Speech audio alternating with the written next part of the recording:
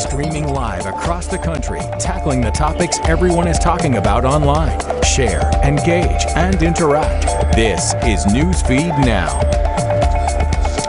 Good Thursday morning, everybody. Glad you can join us here for Newsfeed Now. I'm Suzanne Brunner taking a look at today's top trending stories. They include an eight-year-old called a hero after saving his baby sister's life, but you got to wait to see who he credits for his quick actions. Plus, we are taking a look at March Madness tradition between a group of friends spanning nearly four decades. Quite a long time. But first, we're going to start with President Biden's infrastructure plan. He unveiled a massive $2 trillion infrastructure plan that's already facing pushback from Washington over the price tag and what's inside. Washington correspondent Kellie Meyer has the details.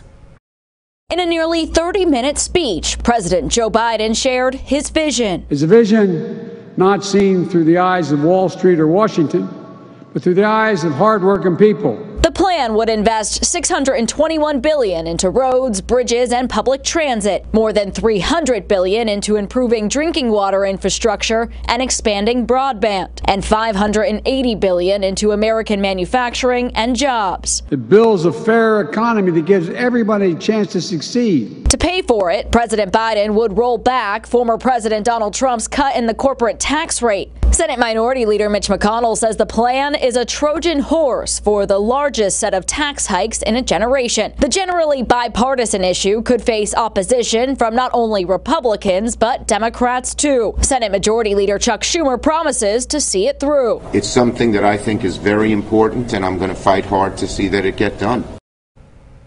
And that was Kellie Meyer reporting. President Biden is set to hold his first meeting with his cabinet this afternoon and is set to promote his infrastructure plan. We'll keep you updated on that. Also, a North Carolina man accused of using eye drops to poison and kill his wife. This was back in 2018. Well, now he's been arrested for setting fire to a medical helicopter mid-flight in 2019. Joshua Hunsucker was already out of jail on bond, awaiting trial on charges for allegedly murdering his wife. And now he was given a $50,000 unsecured bond. In November of 2019, a police report showed a piece of medical equipment was intentionally set on fire inside of a helicopter while in flight. Hunsucker faces a felony charge.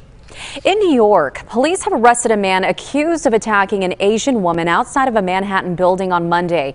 A Manhattan district attorney says Brandon Elliott faces multiple charges. State records show Elliott has several past arrests. That includes in 2002 for stabbing his own mother to death when he was 19 years old. Nicole Johnson has more on this investigation. Police say this is Brandon Elliott seen on surveillance video assaulting a 65 year old Asian woman and yelling, You don't belong here. After his arrest, Manhattan District Attorney Cy Vance had this message This brave woman belongs here. Asian American New Yorkers belong here. Everyone belongs here. The attack happened in Hell's Kitchen as the woman was walking to church Monday afternoon. Police arrested Elliott overnight after staking out a nearby hotel turned homeless shelter. Police Commissioner Dermot Shea credits these detectives for cracking the case. The quick work by NYPD investigators in this case reinforces the dedication of every member of the NYPD. We will never accept or tolerate hate or violence of any kind in our great city. Elliott is on lifetime parole after serving 17 years in prison for murdering his own mother in 2002 in the Bronx, stabbing her in front of his then five year old sister. Given his criminal history, there were many questions about Elliott's parole parameters, from walking the streets to living in a homeless shelter. The police commissioner spoke out about it exclusively on Pix 11's Morning News. Releasing people and putting them in homeless shelters, I've been harping on this for years now, and, and I think, you know, you just shake your head and say, what could possibly go wrong? And this is what goes wrong. To that, Mayor Bill de Blasio had this to say We are going to have all the agencies work together to address these issues. The 65 year old woman is the latest victim in a wave of Asian hate crimes in New York City. The NYPD urges New Yorkers to step up and get involved, but also be careful. Please try not to get physical with the assailant and too often we've seen people pull out their cameras to take video. Understand that that could be detrimental as well. Nicole Johnson reporting also in New York as police departments and communities get ready to submit their police reform plans this week. Some concerns are being raised in Ithaca about the selection of one member in its police advisory group. Richard Rivera spent 39 years in prison for killing a police officer. Adrian Smith sat down with Rivera to find out how he earned his spot on the board nonprofits. It was 1981. Richard Rivera was 16 years old when he shot and killed execution style an off duty New York City police officer, Robert Walsh, a father of four. After spending 39 years in prison, the now 57 year old Rivera is helping to shape Ithaca's police reform plan as a community board member. So I sit in a cell, right, uh, agonizing over this deed of mine, right? I killed somebody and I'm saying to myself, you know, how how how do I move forward? What do I do? I cannot change the past, and I have to arrive at a decision. I have to say to myself, what am I going to do with my future? How am I going to move forward from here? Rivera was appointed to the position based on his community involvement and job as an outreach coordinator. He helps the homeless. So, how does the police union feel about a cop killer being on the advisory board? No comment when I reached out to them, but ahead of Wednesday night's Common Council vote on the report, the union did release this statement reading in part We value the lived experiences of the many who share in that sentiment, and the Ithaca Police Benevolent Association could not agree more. Change is needed now. The family of Officer Walsh is quoted in the New York Post as saying, We're completely shocked that the man who murdered my father is being trusted to create police reforms. It's the reality of me. And, um, and it's jarring when you first meet that, okay, a guy who was convicted of a murder of a New York City police officer is now involved in our efforts to reimagine police, uh, public safety. Not policing, public safety, right? I act every day and I behave in a way every day that I hope honors and respects the memory of my victim. And, and, and that memory for me is that of the highest human standards and uh, uh, uh, of, of servitude, of, of compassion, and of caring. Now let's move on to the very latest on the coronavirus pandemic. We are getting answers on whether it is safe to mix different COVID vaccine brands. While experts say it's better to stick with one, Alex Bozarjian tells us there are exceptions. Three federally approved vaccines on the market, picking and choosing can be overwhelming. Experts say once you decide, it's important to remember one thing. The official recommendations are that you complete your vaccination uh, schedule with one brand because that's the way the studies were done. Dr. Lawton Davis, director of the Coastal Health District, says when it comes to mixing vaccines, the data just isn't there.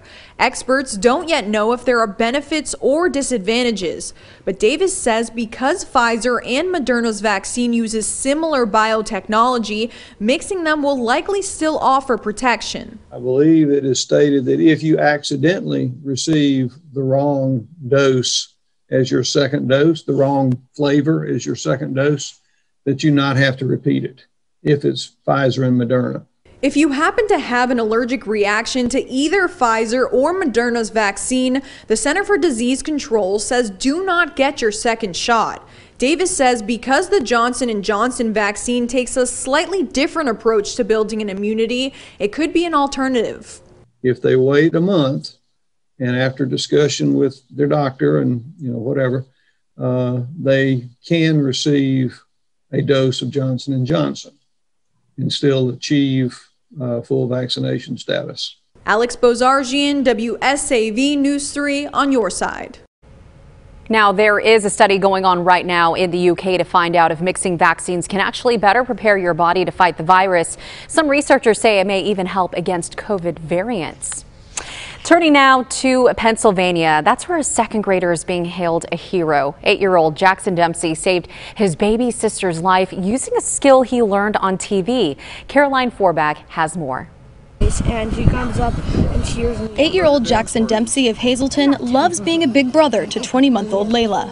You get to take care of her, and when you're bigger and when she loves you and she gets to talk, you could uh, give her a bottle. Wednesday, he noticed Layla was choking on a chicken nugget while their dad was driving. He sprang into action. It made me feel scared because I thought she was going to die. But then uh, the scene came into my mind. I told my dad to pull over, then I started to pat her back. He leaned her forward and used the heel of his hand to slap her back between the shoulder blades. Her face was bright purple and red, and uh, she wasn't really breathing. And Jackson sprung into action before I even opened the door. In about 30 seconds, Jackson was able to dislodge the nugget. I, I couldn't believe it. I mean, he's always been a, a, a really good big brother and that, but I never knew he would know what to do with that, you know? I could do a flip. Jackson says he learned the move from watching an episode of Nickelodeon's The Substitute, where WWE superstar John Cena teaches kids how to save someone from choking.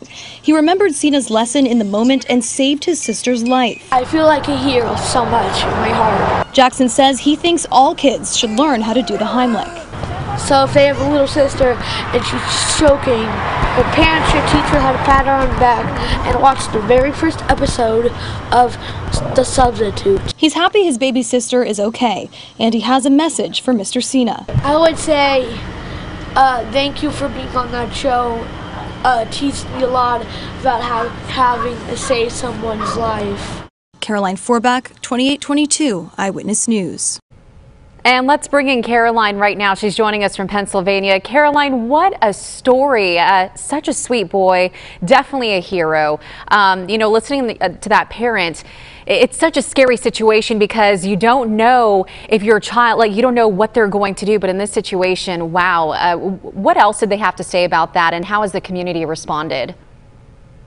Well, you can imagine the helplessness that the father felt as that was happening. I mean, he was driving the car and he told mm-hmm. me it took a little while for him to be able to pull over, but he was so impressed that Jackson was able to just step in without hesitation. And the community actually last night, the city of Hazleton held a hero parade for him.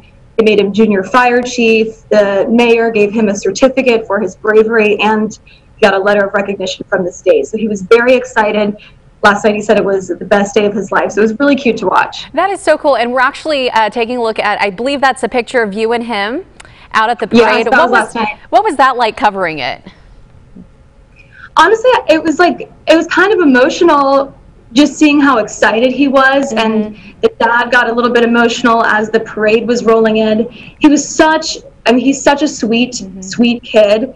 And so grateful. He kept saying how thankful he was, and it was really, it was really, really nice to watch. It was nice yeah. to do a happy story like that after. Absolutely. You can just tell he absolutely adores his little sister. Now, um, you know, sometimes. You, there's always parents who talk about you got to limit what you watch on TV and and you know in this and they teach so many different lessons and this one he really took to heart. This is one thing he definitely remembered and I know that he had that message for John Cena. Any chance John Cena may have received that message? Has he responded? Well, we did um, get a statement from Nickelodeon last night, oh, just nice. saying that they were so proud of Jackson and they thanked him for watching the show. Um, talking to John Cena is in the works. Um, I don't want to like say too much about it, but we're trying. I'm trying. no, that sounds good. Caroline, thanks so much for bringing us that that heartwarming story. Uh, definitely a hero in everybody's eyes. Thanks so much, and keep us updated if John Cena uh, says something. Before we go, as you can imagine, there are a lot of people in Indianapolis because the NCAA tournament, but there are three guys that show what it means to be a fan. So these guys have been to every NCAA tournament for the last 35 years. Courtney Spinelli introduces us to the basketball mavens and explains why the Hoosier State is special for them. We're just three random Joes that like college basketball. Three men with an extraordinary story. Jim Wickman, Tom Bowen, and John Reese call themselves the basketball mavens. It's the whole experience of March Madness that, you know, makes us just look forward to March every year. And when they say every year, they're not kidding. We've uh, been to 22 games already this month and have two more on tap tonight. Before this year, Jim and John have been to March Madness 38 times, including the last 35 straight tournaments. Tom's the rookie with only 30 years under his belt. I still carry the bags. I don't get a room key. John missed some early rounds this year while waiting for his final COVID vaccine. Now he's hoping he gets a shot to see this weekend's games. It does take a lot of planning, and so we jump on it early. They start planning months, even years in advance to make it happen. Saying, okay, which two cities are close enough to drive back and forth to? With all the games in Indiana this year, it saves the Mavens a bit of their usual driving. It's also a homecoming of sorts. I grew up uh, in Carmel in the 70s before it got so big. The trio met when they lived here in the 80s. Now they all live in Texas. The friendship would have remained strong even without this, but it does enhance it. And if you ask them how much they've spent over the last few decades, don't expect an answer. It is a closely held secret how much we spend because our wives would kill us if they knew. And they hope their tradition never ends. We want to continue doing this as long as we are able to, and you know, it's just been so much fun. Reporting in downtown, Courtney Spinelli, CBS 4 News.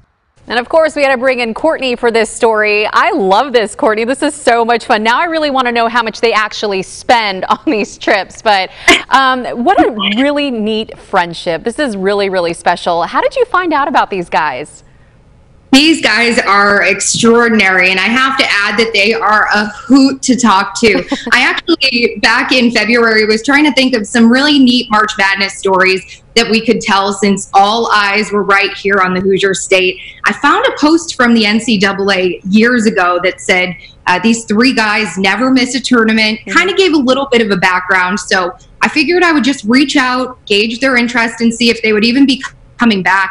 And that's when we learned their Indianapolis connection that they actually met in Indy back in the 1980s when they worked here. So the story just seemed to get better every single time mm-hmm. I talked to them. And they they just enjoy college basketball. They call themselves average Joes, but they I don't think they're so average considering how much they've done. Well, Courtney, great job tracking them down. Uh, in terms of speaking with them, was there um, a story or like a memorable moment throughout these years that really stood out to them that they shared with you? You know, one thing that they told me, and I didn't have a chance to get it in the story because I felt like I couldn't do it justice mm-hmm. uh, with the amount of time I had, was they they name a most outstanding personality, an MOP, at the end of every single tournament. So they meet people along the way. They say that's their favorite part of it, whether it's a server, someone that they've met at a game, someone they've met while in their travels on the street, and they keep tally of all of the people they meet. And then they name the most outstanding personality at the end of every season. And they said it's something that they they actually remember all of the people throughout the years and that's one of their favorite things about coming to the tournament and and actually one of their favorite overall memories throughout the years, which I thought was so so yeah. neat. I mean, MOP. That I, is so cool. Uh, you know, Courtney, this this story needs to go to Hollywood. I, I think there needs to be a movie made about this, and I think it'd be really good. What do you think? I think it would be a huge hit. They did tell me that they are in the process of writing a book. Oh. Uh, they joke that they don't know if they're the only three people who would buy the book, but they hope that it would be a good way to just track what they've done over the years. And and I said, how do you keep track of those amount of yeah. memories over 36 and actually 39 overall? That's just 36 consecutive. Uh, so exactly. they they've done a lot. I think it would make a great movie. I definitely think so too. And I definitely want to continue following this story. I'm glad to hear that it's not going to stop this year. They're going to continue to do it as long as they can. Courtney, again, thanks so much for bringing us that awesome story. I love that. What a friendship. Thank you so much for joining us here this morning. We hope you are able to click back in tomorrow to kickstart your Friday. Oh, we made it finally. And uh, looking forward to the Easter weekend. And we're going to tell you all about what's trending tomorrow as well. We'll see you then.